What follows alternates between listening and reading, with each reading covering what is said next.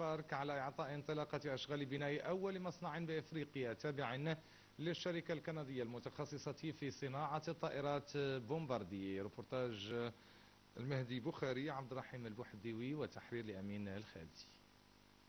مصنع بومباردي الذي أعطى جلالة الملك محمد السادس انطلاق أشغال بنائه اليوم.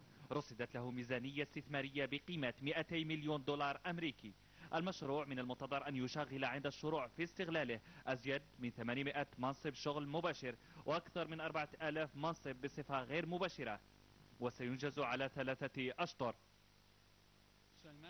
إذا المصنع سيتم إنجاز وصناعة أجزاء الطائرات على اختلافها. سنقوم بتجميعها وإرسالها فيما بعد إلى كندا بهدف التركيب النهائي للطائرات. ونتوقع إنهاء أشغال الشطر الأول عند منتصف السنة القادمة. On planifie à ce qu'elle soit complète vers la fin du premier, la première moitié de l'année 2014.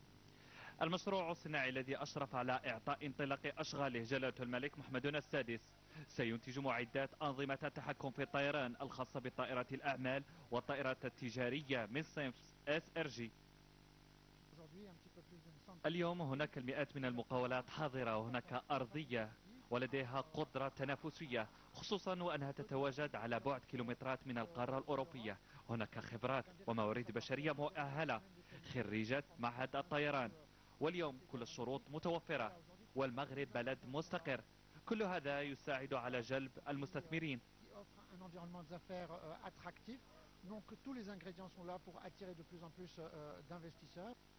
استقرار بومباردييه بالمغرب يأتي لينضاف إلى أكبر الشركات العالمية. بوينغ مجموعة صفران زودياك سوريو إير فرانس. بما يدل على أن المغرب أصبح وجهة رئيسية لاستقبال الاستثمارات المتعلقة بمجال صناعة الطيران.